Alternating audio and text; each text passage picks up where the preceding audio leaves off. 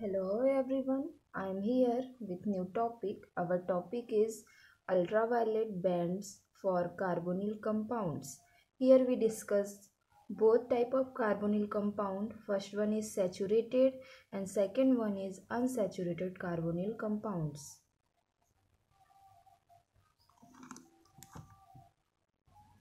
So first we discuss about saturated carbonyl compounds. Saturated carbonyl compounds are those carbonyl group. So characteristics uh, absorption due to non-bonding electron on oxygen atom. These non-bonding electron are not tightly held as are pi electron and these are therefore excited to antibonding orbital by lower energy ultraviolet radiation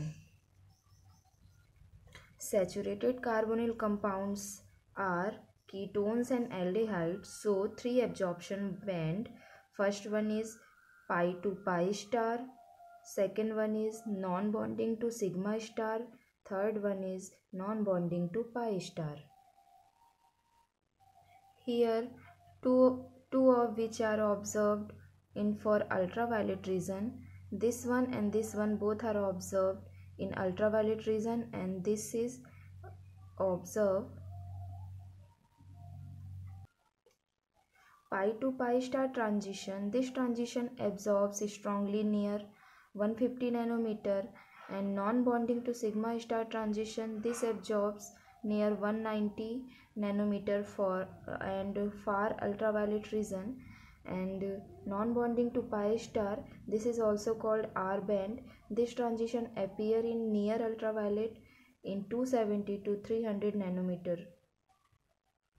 Next we uh, discuss about r band or non-bonding to pi star transition.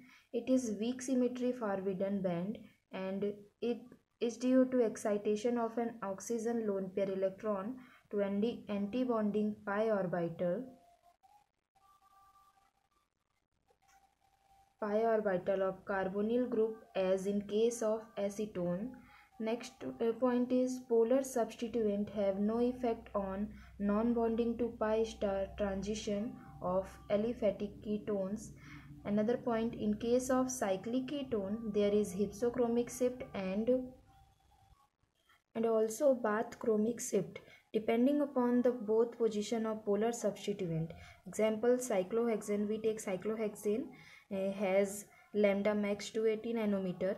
In this uh, chlorine uh, is a polar su substituent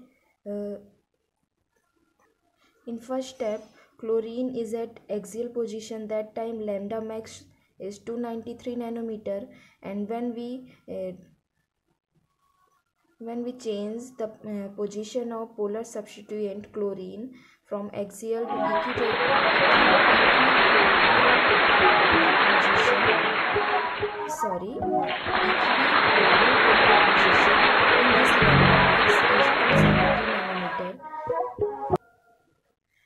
axial position increase wavelength by ten to seventeen ten to thirty nanometre and in equatorial position decrease of lambda max और wavelength from four to ten nanometre main position of polar substituent decide the shift where bathochromic shift and where the hypsochromic shift occur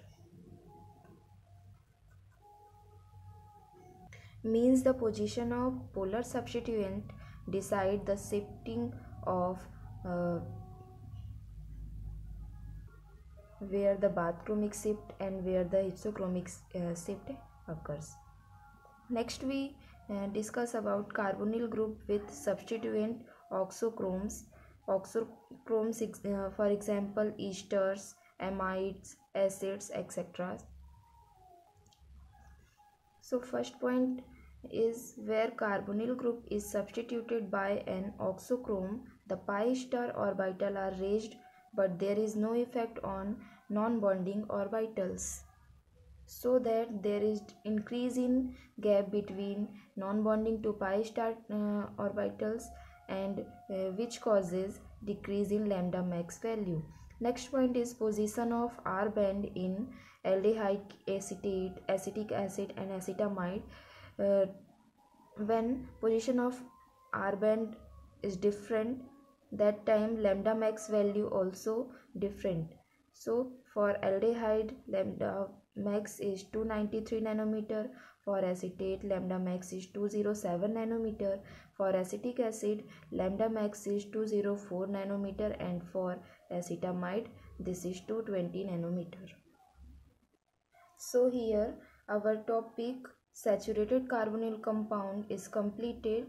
Uh, in our next video we discuss about unsaturated carbonyl compound. So more update please like subscribe and share my channel